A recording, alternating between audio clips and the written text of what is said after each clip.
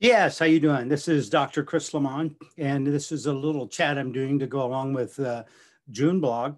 Uh, I know there was some confusion, but nonetheless, it's a chat to go with the June blog. We've now made it halfway through the year, right? We've been looking at all kinds of crazy stuff. And last year, 2020, I talked about my idea having two systems, not particularly a new idea, but most certainly I've just kind of re-looked at it. And why we look at ideas is not to find an essential truth, but to be able to expand a different way to look at things, right? If we have something that we think is true, we only see it a certain way. If we look at it, we get diversity, we have innovation, we have more creativity, right? So that becomes the goal. I, once again, started this year out saying, hey, we've got to anchor into something new to secure into we're really in a world where we're being influenced and we're influencing and we really need to be more influencing right? And that's the whole objective and move in the direction of of being more open. So we looked at we bounced around january february march april. We talked about all kinds of stuff in may. Uh, so here we are in june starting to say okay at what direction are we going to go? Uh, i'm uh, to make it clear, we've got a nature influence. One influence that we see is entropy, right? Everything in form deteriorates. Conditions at different places deteriorate differently, right? But nonetheless, everything deteriorates. So everything is under the marshalling influence uh, of some sort, right? Uh, some things can change states and preserve longer. Some things you know, because with petrified wood can last a lot longer than a tree. But trees and other stuff in the background that we look out seem to be more consistent than us. Even though everything changes, we start to talk about securing into the background. We're securing into things that don't appear in our lifetime to change very much. Securing just means that we use it as a reference to kind of come back to, secure it into. So that's all, right? Uh, Right now, we're in a time of change where the background pieces are changed. Now, if you like to call it climate change, that's fine. But it's not only climate change, right? Because uh, less than 100 years ago, we were looking for a truth, right? And now it seems like everybody has their story of what the truth is. There's no consensus, right? So that's a process called polarization. So we can't secure into someone's going to tell us the truth. But that's number one. Number two, we used to kind of secure into an expert. We would go find someone with some expertise. But we do know that ever since we got into computers and phones, we, as IQ, as humans, are dumbing down. Now, we're dumbing down because, come on, give me a break. If you had to remember formulas and different things in your head all the time, uh, you then probably could do really good on a test because you use those things every day.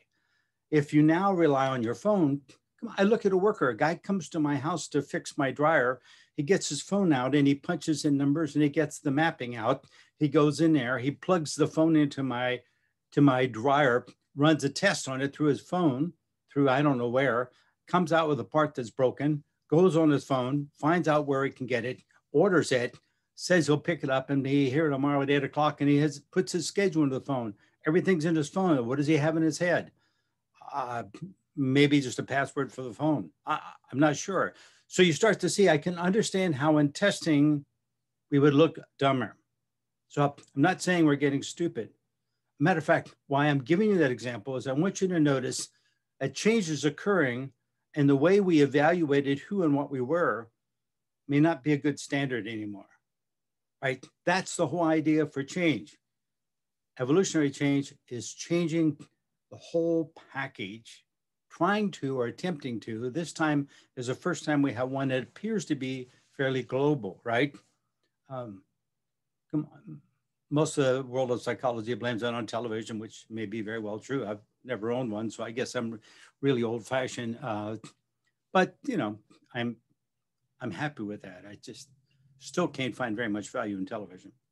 Um, I have more value in coffee. I, I'm not sure that's better for me. I know there's a truth in any of that. Do you get me? I'm, I'm, I'm just saying that what we start to look at is influences. Your preference might be an influence or it might not be, right? I mean, I've been drinking coffee all my life because of the fact that I'm lactate intolerant. So when I was little, very little, like out of the baby bottle, trying to find something to drink to go to sleep at night, my mother couldn't give me milk because it would upset my stomach. So she felt guilty. So she would make coffee, make it half milk and half coffee, heat it all up so it was warm, and give it to me. Or she would take white horse whiskey and mix it with a little milk and heat it up and give it to me. I slept good, worked really good. And, and she got the milk into me a little bit, so she felt better. Uh, that was very sweet because there was an absolute truth piece. You get it? My gosh, kids should have milk, even though I shouldn't have had milk because I couldn't digest it. Something missing in an enzyme or who knows what, right? But anyway, so I drank coffee for eons. This one's got a bug in it, but it's okay. Bugs are good. Uh, drank coffee for a long time and then I quit drinking coffee because I thought maybe it shouldn't. And then I drank tea and I drank distilled water and I drank wine and I drank homemade beer and beers and I and and then when I opened a center in Southern California, why I got the bug out. When I when I opened a center in Southern California, I, I, I had a center that we would meet in and do work in but I really didn't have an office in there per se. So when I would meet someone, I had to meet them somewhere. And not only a few blocks from my center was a Starbucks with a little meeting room. So I would meet people in that Starbucks, or we'd have our staff meetings in that Starbucks. So people always remind, always picture me with a cup of Starbucks coffee, right? I do drink a lot of coffee, but in my center, I didn't have coffee. I actually had herbal tea, right? So so the association was just a, a piece of a convenience. So yes, I'm back to drinking a little more coffee than what I used to, uh, just because I'm kind of a homebody these days, aren't we all? And so it's just like uh, I can't sit around drinking wine or whiskey all day and still manage to stand up at the end of the day. So coffee is a safe bet, or that, or water, right? Uh, if it gets warm, then I do, you know, club soda and bitters or something, you know, whatever. Uh, so it, this is just, I'm just giving you a normal rundown of how life operates, and those are variables. And you start to see how I just built a story fitting all those pieces in, and how essential are those? How much are they secured into anything? Not really, not at all. You know, none of that's really important. Where I live and where I get my mail, and my bills, and donations, uh, all becomes more essential. So background pieces become more essential than our story elements do. Do you, do you see that's that's essential pieces? All right. So as we move forward, the background's changing. What are we going to do, right? So if we start to look at the logical system, if you don't understand that, go back and look at my blogs from last year, and I'll probably do a talk on that. I didn't really want to because it's going to be kind of long-winded, but I try to keep these short. Seems that people like short ones. Uh, but nonetheless, if we look at logical systems, logical systems was when this whole game of planet Earth and form and all that stuff got created. It basically got created by having all potential divided into segments. Even if there's 11 billion segments, one 11th billion of all potential is pretty big. I'm not sure what that is. I'm not sure that in a logical system we could work that math. I'm not sure that's potentially possible, but it still would have to be big, right? Bigger than you could imagine, beyond what we could imagine. So we would have then our own little piece of the pie. So division produced it. So therefore, when we work into the elements of logical systems, inherently what we find is division is not what science has found we look at something, we find, oh, it's made of more parts. And then we tear that apart and we find it's more parts. And then we tear that apart and we find it's more parts. And then we get parts that are unstable. All right. So we know that we can get down to an ionic piece. And then we found out a year or so ago that maybe ionic pieces aren't so stable. And the truth is that particles aren't so stable because they blink in and out. They go back to energy and they come back into particle again. And so this whole thing is pretty much an illusion of some sort, but we're playing, it's a game, right? So we're engaged, all right. So I've kind of abandoned for now the logical system of being able to find something else to secure into. The background is part of the logical system. We have done that only because it had more duration, right? Probably a habit because most of the world, the history of the world, Egypt, Europe, have all anchored into history, right? Because they have tons of artifacts sitting around. They have castles on the hillside and nobody's lived in for 2,000 years, but it's still there. So, so you, that, that makes sense, right? It's just simply, it's just artifacts. So we have a conversation and we have in the background pieces that make us look at history in Europe and lots of parts of the world, in Turkey, lots of places. I love the Roman ruins in Turkey. You know, I think of Turkey and think of Roman ruins. It's like, it's a little stretch, but most certainly it makes sense historically. Uh, now what we're looking is going forward, what are we going to do? So I'm just saying that we've gone over things. And if we start to look at the main elements in a creative system, the system that imagined this whole thing, right? Put it all together. Maybe, okay, that's also a story, but trying to put words into a system that doesn't contain logical elements or words is really tough. So we talk about it abstractly. So that's what we're doing. So here we have a logical system uh, that we cannot trust and anchor into because what the parts of it, the older parts we've anchored into in the past, is changing. So all those old castles are falling down. Uh, the last trip to Peru was very disappointing because a lot of the stuff that were really cool to see are it, some of it's been destroyed from beer advertisements and some of it's just fallen apart and uh, yeah so and that's the nature of entropy. That's the nature of influence the nature of change. So what we're saying is let's look at the creative system. In the creative system we have balance. Balance is an automatic piece.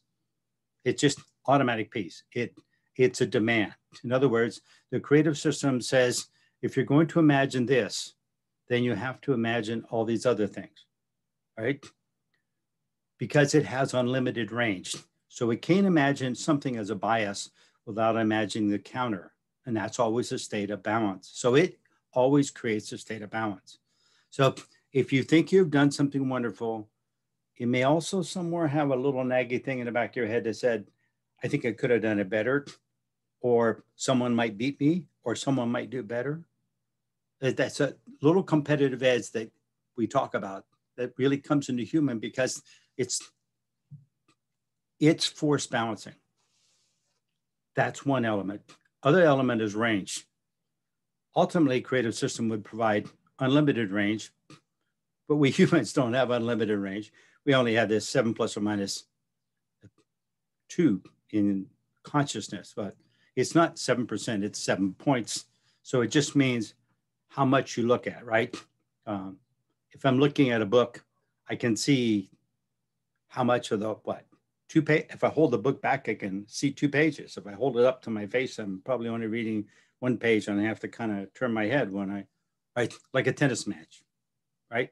We sit in the front row of a tennis match, we can see. We got to move our head back and forth when the ball goes. If we sit in the back row, we can kind of see the whole thing. If we watch it on TV, piece of cake, they can zoom out. Uh, so you start understand range has to do with your position, location, and how big the bite is.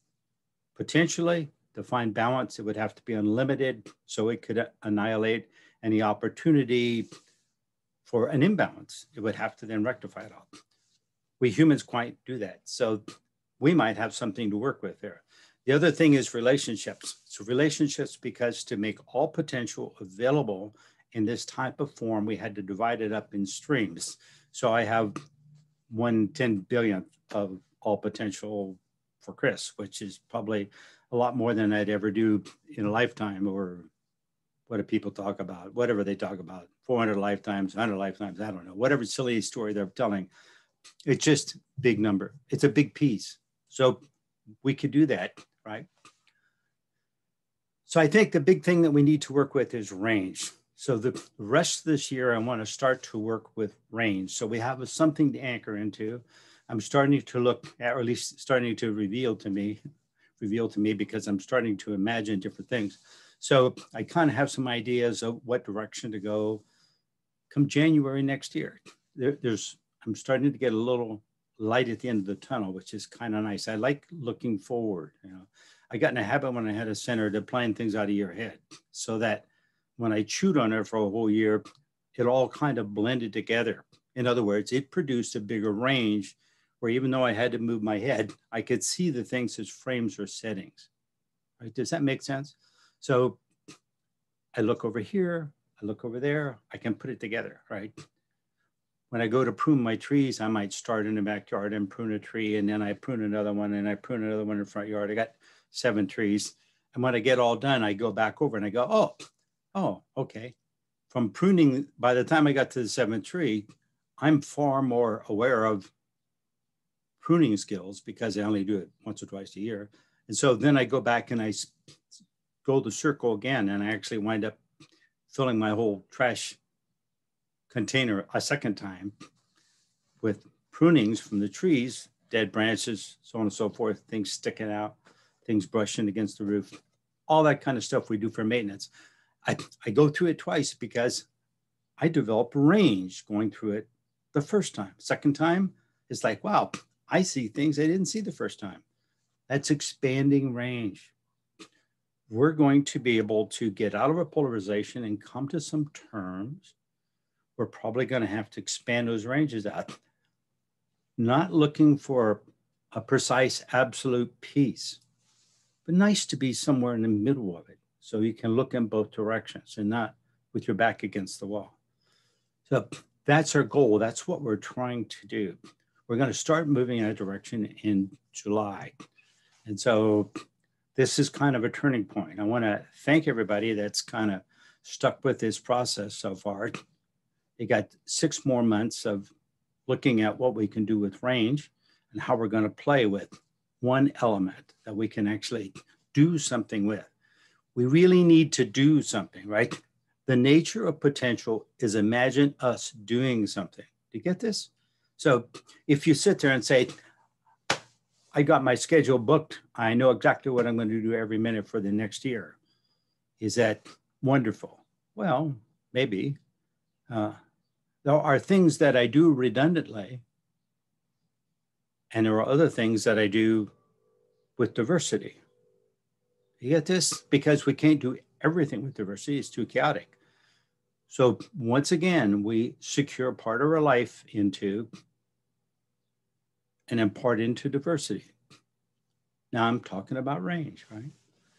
Um, if everything we did every day was novel, we woke up in the morning and it was just an adventure all day long, you know, it'd be it'd be great, you know, for Robin Hood or Peter Pan or one of those lifestyles. But we don't particularly like, we humans don't particularly like a life that's all totally adventure because it's risky. Very risky. So we don't cater to that. And I say that statistically because if it was all random, a coin toss, a coin toss is 50% of the time you win and 50% of the time you lose we don't have 50% death rate in the world. We, we don't have that randomness. We don't even have the odds with dice. So, so there's not a random element. So we're securing into background in the past to kind of that's a redundant piece. My house, my trees, my mailbox out front. Those are redundant pieces. It's kind of always there, but not always there, right? Because I've only been here seven years. So 20 years ago, it wasn't there. 30 years ago, it was probably a field. And I have no idea where it'll be 30 years from now. I probably won't be here. So I don't know if I care.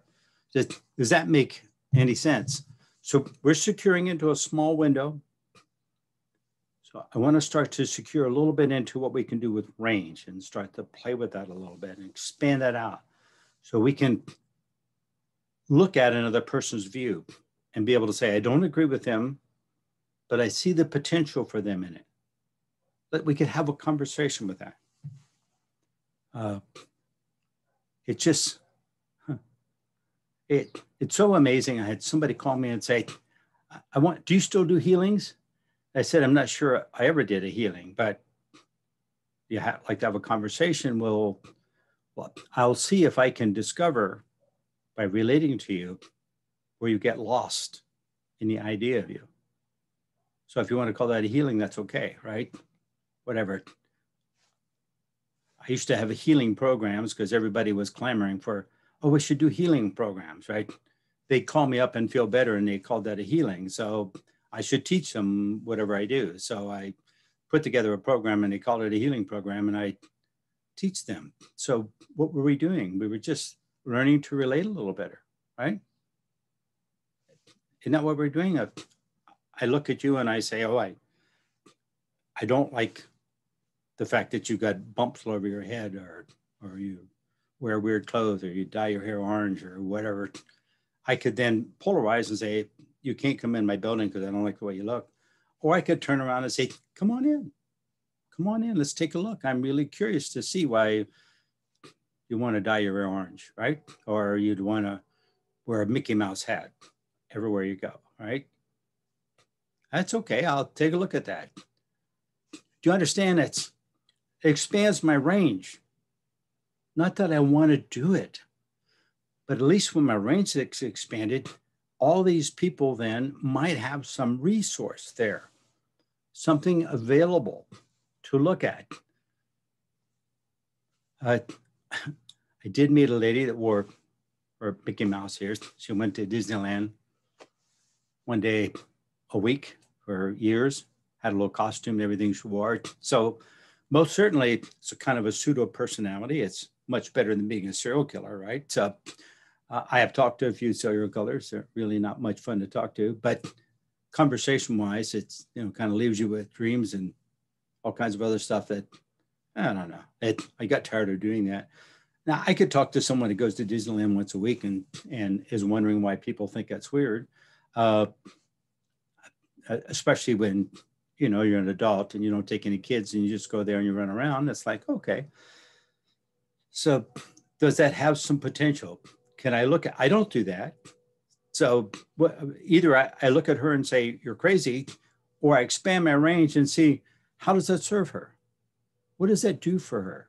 How does that bring balance into her life? Because the system is forced balance by creation.